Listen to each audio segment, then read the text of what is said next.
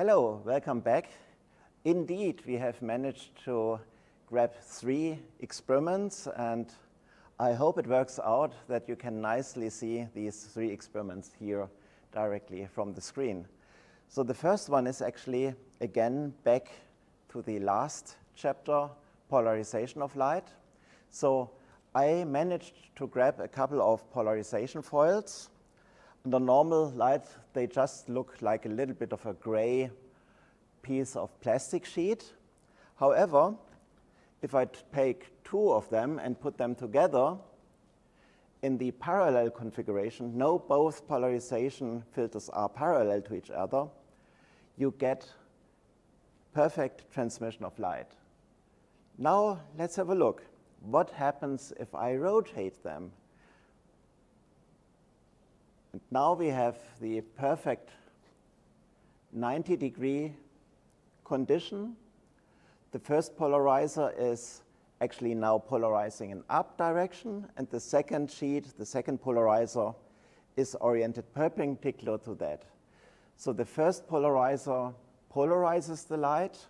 Behind that first polarizer, the electric field vector is in up direction, and the second polarizer is now perpendicular to that and is perfectly blocking the light.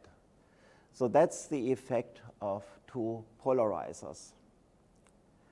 However, there are indeed applications. What I'm holding here is just a plastic sheet um, and we did put scotch tape on it. You might not see anything here. That's what we want to show you. Now I'll put that on top of a polarizer, actually behind the polarizer. And what you already might see now is a little bit of colors.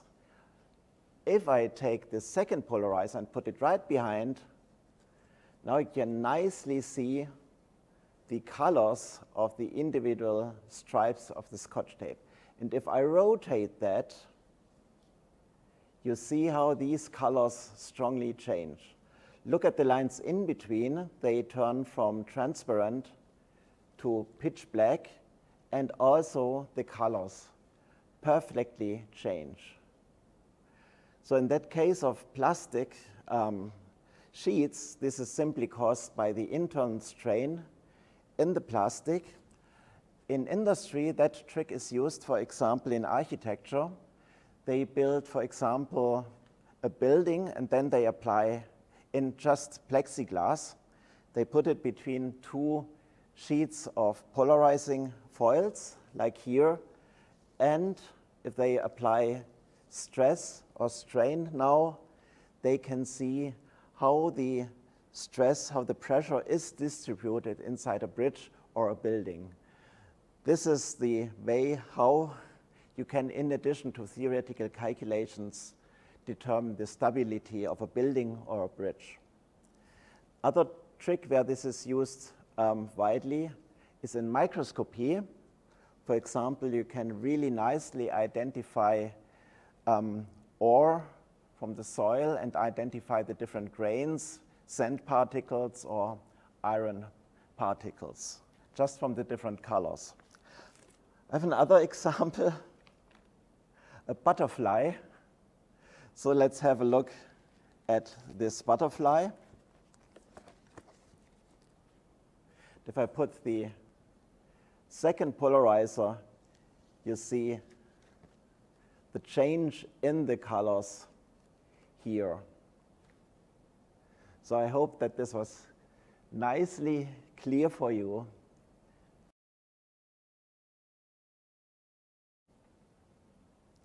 Okay, now the second experiment. In that second experiment, I wanted to actually simulate the Huygens principle, the superposition of waves. What you see here on the screen is just a plastic sheet with concentric rings. I have a second plastic sheet here in my hand, and I wanted to put that on top of it. So what we have here now is two point sources.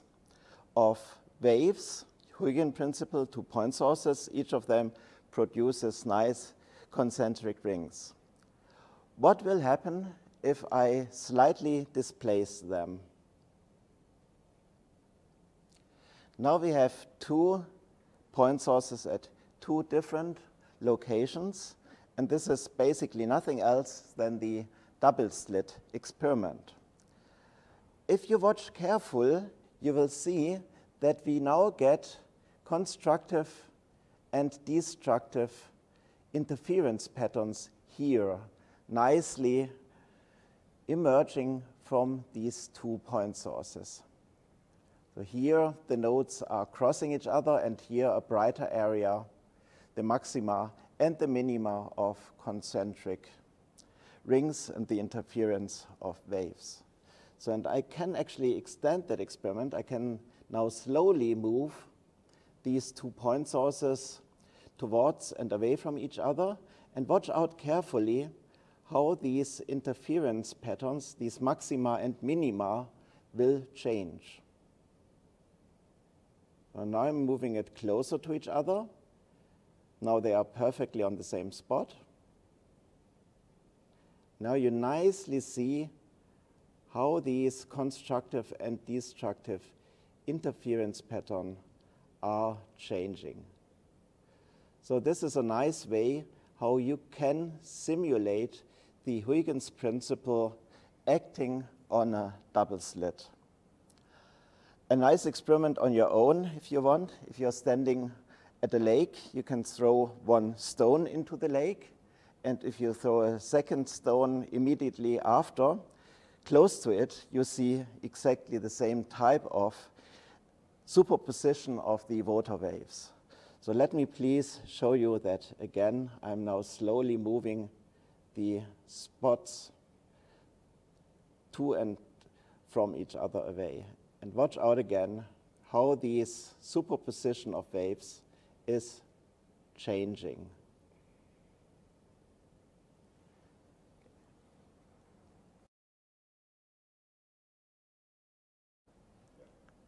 Okay, and now the third experiment.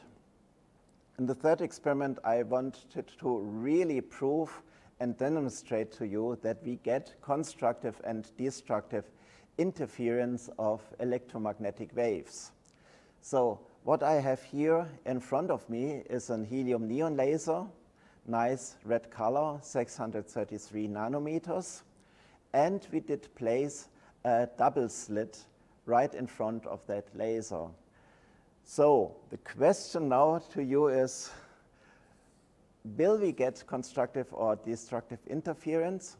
For a nice red laser you would expect that we get one bright spot here from the theory calculations, which I did uh, during the lecture, we should get an interference pattern with a straight high intense maximum in the center and side minima left and right to that.